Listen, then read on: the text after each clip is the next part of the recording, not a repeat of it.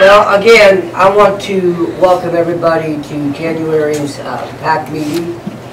And again, I want to thank Brother Larry and the Greater Love Missionary Baptist Church for hosting uh, this month's PAC meeting. I'm very pleased to see a very good showing today. Um, I have great hopes and and I'm looking forward to seeing all everybody here getting great information, blessed, and doing the things that we know that God wants to do for our community. So, as I call this meeting to order, if you look at your agendas and you wonder how we're going to run things, the order of the agenda is usually the way that we go. So the first thing that you see after the call to order is our devotion and prayer, which is uh, done by our host church. So, and I understand we'll be giving a small presentation. So I will turn this over to Brother Larry, and uh, we'll move so that we can see it as well. Slide the chairs around. Somebody's turn this week, dude. Oh, yeah, okay. Good evening, Good evening. and welcome to Greater Love Missionary Baptist Church. Uh, This church edifice is a Randolph structure. Now, I say that as a lead into the kind of presentation that we'll be sharing with you in the way of a devotion.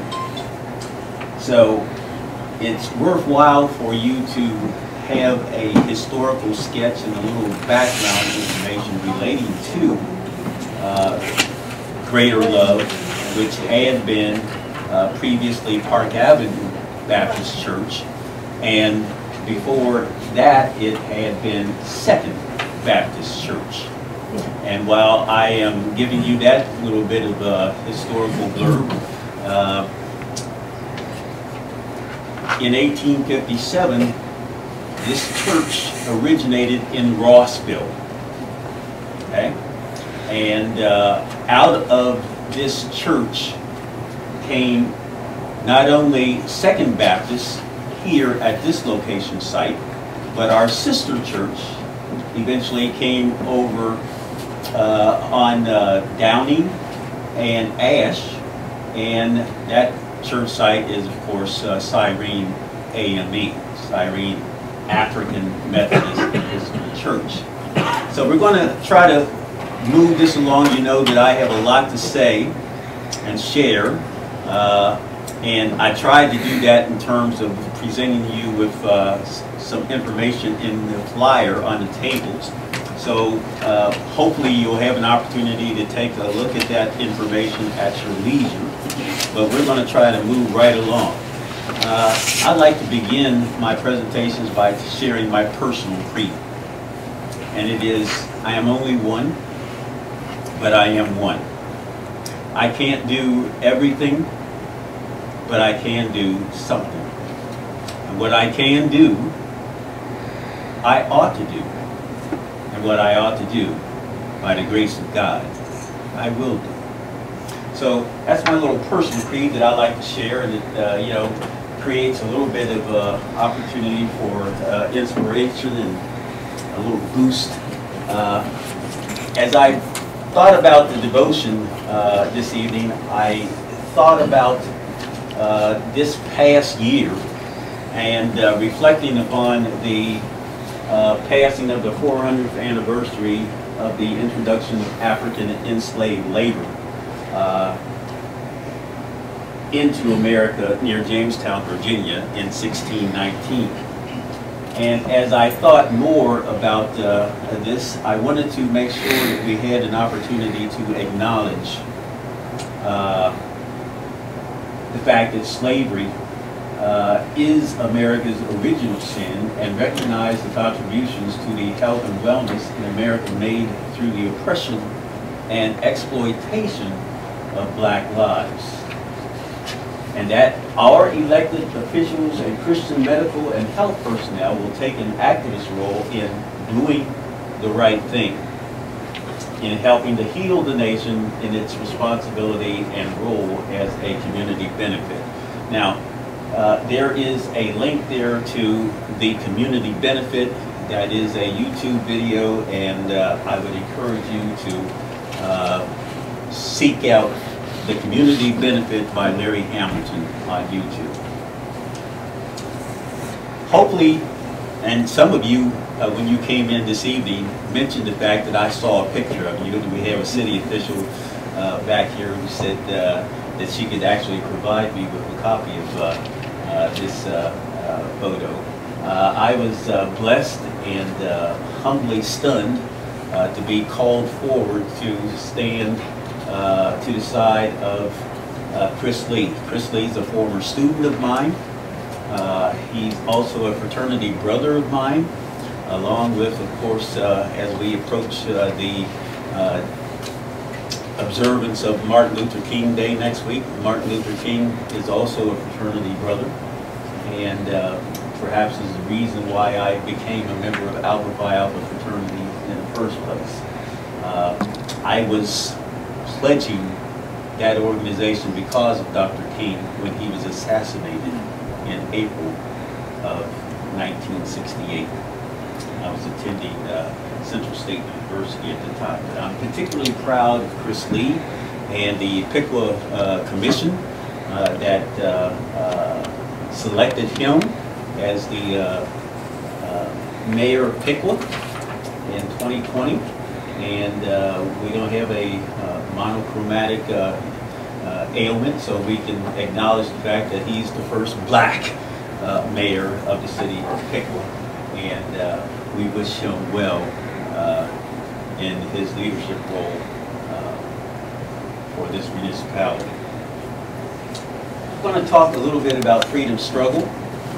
And I want to call your attention to some things that are extremely important to me, an underground railroad concept, and particularly uh, the development of a recognition of children of the light is where I want to focus. Children of the light. Uh, Our nation is significantly divided. Uh, There are some ranks of dissension among uh, the Christian community as well.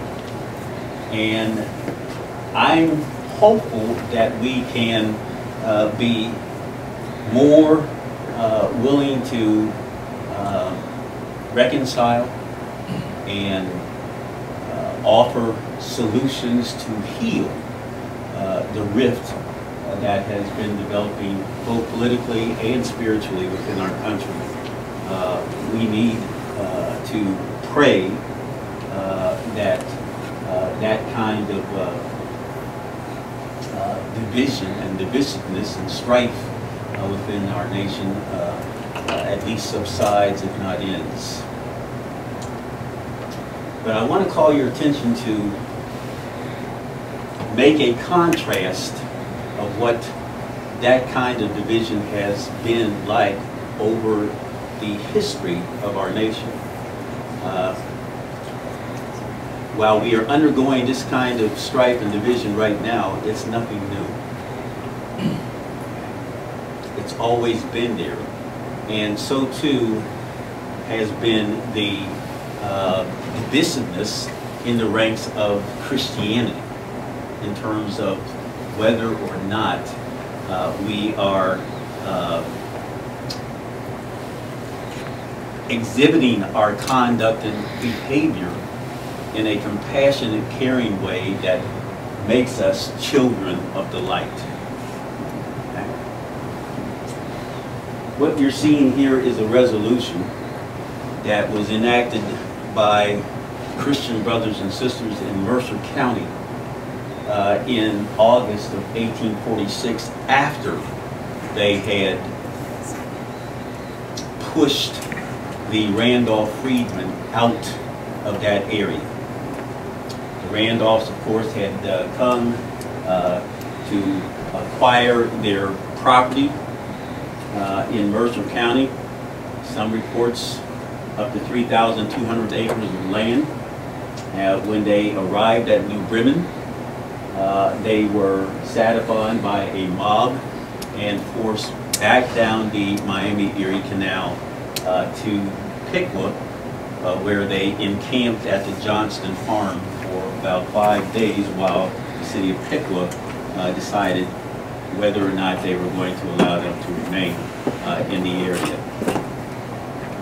I want to call your attention to a couple of things in order to make this contrast or distinction.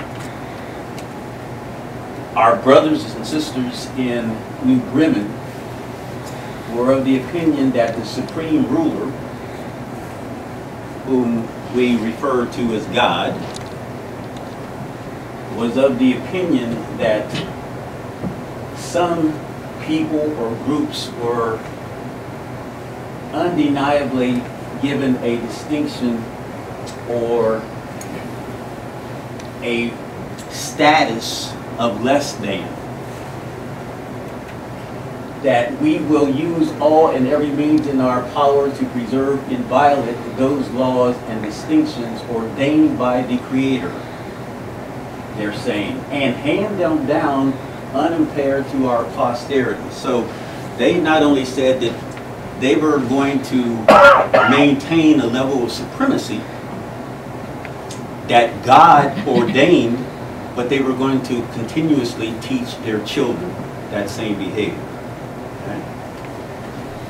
Now, again, these are brothers uh, and sisters in Christ, and I want to develop a little contrast.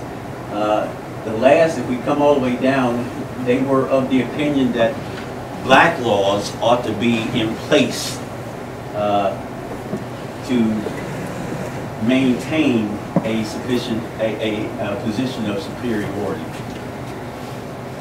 Here's a look at the, the black laws at the time Ohio uh, was admitted into the Union. Quickly, blacks had to produce freedom papers Negroes already living in the state had to register. Newly freed Negroes were forbidden to enter the state unless they had a $500 bond. Negroes were not to be counted when determining the number of elected seats to be filled in the General Assembly. It's almost like the three-fifths clause of the Constitution.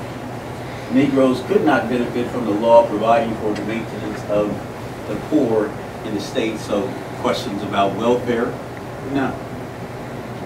And Negroes were denied admission to the state common school system. That, that last one is very important. Okay? Uh, they could pay taxes, but they couldn't receive an education at the school.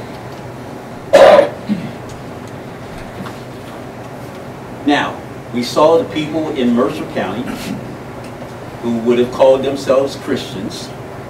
And I want you to look at a contrasting group of Christians who are called Quakers. Okay? And again, we have these contrasts, I believe, today within our society. And you have to decide who are the children the light.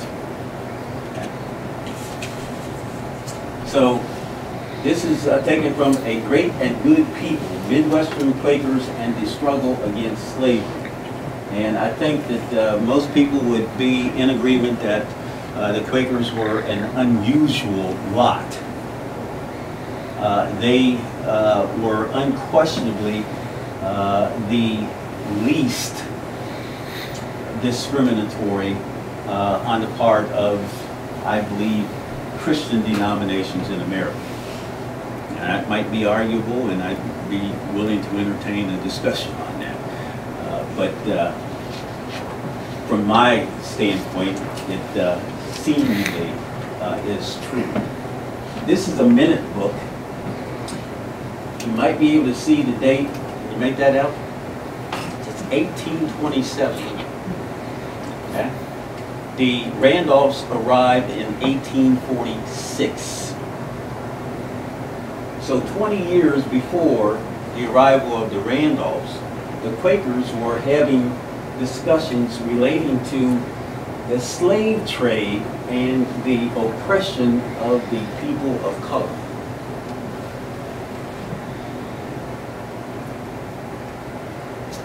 They were having committee meetings to decide how to best respond to the care and need of their brothers of African descent.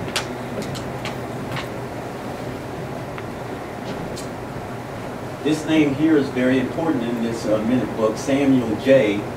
was a Quaker who was responsible for purchasing that property in Mercer County.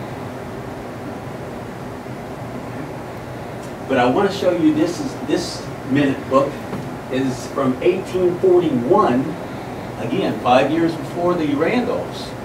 And we see that in the city of Troy, this is Troy right here, there's a report of the Quakers establishing a school and the colored persons are amount to 77. Now, they are taxing themselves in order to accommodate the training and education of these persons of color. John Randolph, we know that story. I'm not going to, you know, uh, dwell there, but we know that they uh, came through Piqua. Uh, the response was not uh, one of uh, a great deal of hospitality. Uh, when they arrived at Lock 9, they were asked to move on. They wanted to stop and quench their thirst at the town well. The sheriff said no. So they moved forward along the Miami-Erie Canal. Someone apparently went ahead of them, stopped at the Johnston farm, and again, the role of a Quaker person, or at least having a Quaker background, was Rachel, who was the wife of Colonel John Johnston. Okay? And we all know, because most of us have been to the Johnston farm, that there's a spring house. And so the report was that uh, the Quaker, Rachel, probably was responsible for allowing the canal boats to uh, disembark their uh, uh, Randolph Freedmen and allowing them to quench their thirst uh, at the spring house at the Johnston Farm. Another Quaker was Augustus Wattles. Wattles um, had come from Connecticut. He had purchased land uh, at in Mercer County, and uh, prior to that, he had been at uh, uh, Beecher's school in Cincinnati Lane Seminary, where there was an unusual degree of resentment and hostility. You can see here that Lyman Beecher's son Charles says that they were daily hissed and cursed, loaded with brutal, vulgar epithets, oaths and threats, filth and offal were often thrown at them. So these are people who were willing to sacrifice and receive a great deal of persecution on behalf of the safety, well-being, uh, and a level of dignity that is afforded to uh, their African brothers. In this minute book, you can see here, specifically, the Randolphs are mentioned. Randolph colored people in here, they say, we, the committee, appointed to have some care of the Randolph colored people in our limited, in our limits, report the school. So they, again, were establishing a school uh, for these children. Not only were they establishing schools, they were raising uh, money so that the children could have clothing, adequate clothing to attend the school. So I, I, I just want us to, you know, be able to understand the contrast uh, between Christian Brothers in Mercer County and the resolutions supporting the black laws and the contrast or care and compassion on the part of uh, Quaker brothers uh, who are sensitive, compassionate, and obviously fulfilling that role of children of the light. I want to make sure you understand something about this process here. My wife and I, three years ago, offered the Johnston Farm $10,846 to create an exhibit reflective of the Randolph narrative at the Johnston Farm because of the Miami Erie Canal Museum that was being built there. Okay? We thought that that was the appropriate uh, location uh, for that kind of exhibit. The Friends of the Johnston Farm decided not to accept that. And we want you to understand that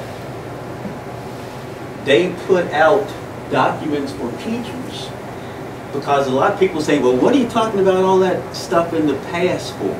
You know, that stuff was prior to, you know, the Civil War. That was, you know, 160, 170 years ago. What are you talking about all that and bringing all that kind of stuff up? Well, these are things that you should be aware of that just changed last year. These are contemporary issues of equality, caring, sensitivity, compassion that reflect upon whose we are. Okay? So I want you to understand this. That's why I want to take a little bit of time, and I'm only going to take five more minutes, brother, brother Paul. Uh, the people at the Johnston Farm in our community has basically uh, tried to uh, accommodate the Native Americans and European settlers in the historical heritage of the Upper Miami Valley. Please note who's excluded.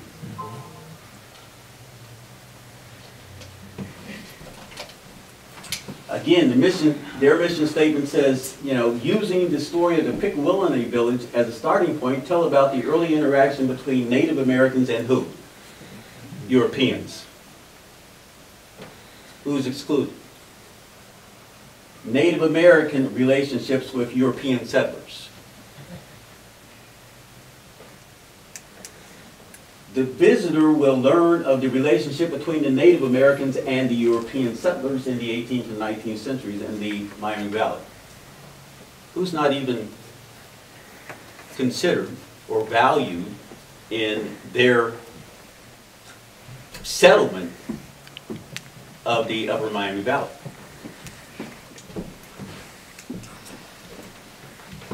And here's the Upper Miami Valley would have been a good place to live when Ohio was being settled by both Native Americans and later our ancestors. Whose ancestors? Who are they talking about?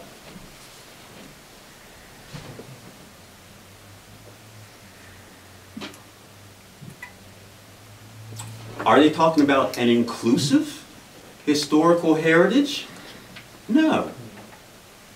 They're talking about Europeans in their relationship with Native Americans. And that's a good thing. All I'm saying is that, you know, there could have been at least uh, an exhibit inclusive of the struggle for freedom on the part of the Randolph freedmen coming to the upper Miami Valley. So, one of the things that we learned was that there's a, it's a primary and secondary source can be used in historical narratives.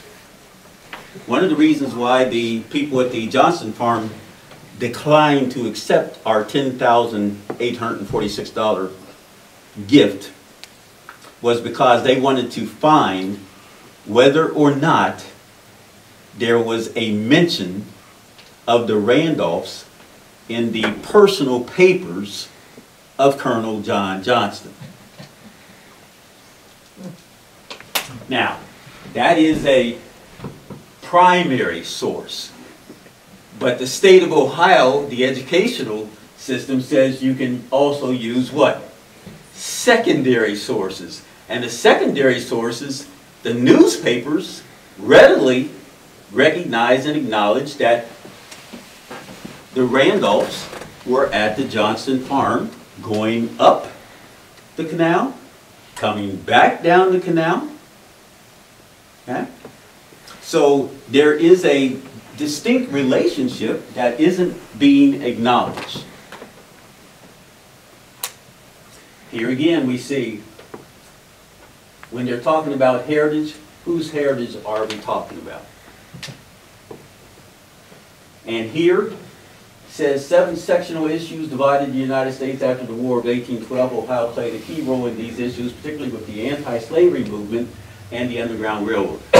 Almost every Ohioan wants to be identified with the Underground Railroad, that we were the ones that were helping uh, the slaves escape to freedom. That's a nice story. But the reality is that's not always been the case. So what about the vote to make Ohio State, Ohio a slave state? Did you know that the Ohio legislature took a vote to determine whether or not it wanted to become a slave state? They missed by one vote. One vote. They were willing to consider adding Ohio to the column of the uh, slave states. One vote made a difference. So these are things that we simply needed to point to in connection with the epiphany and my total commitment. People, you know, think that I'm a little zealous. no, not really. and passionate, I am. And, and uh, this is what I believe Jesus has called me to do and be. Jesus called for total commitment. This was the epiphany, the right concept. And I believe that Piqua can be great.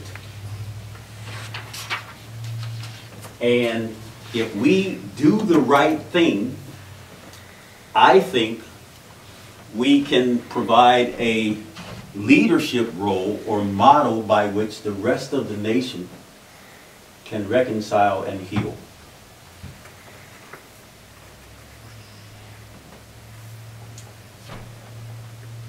So we fleshed out the right concept.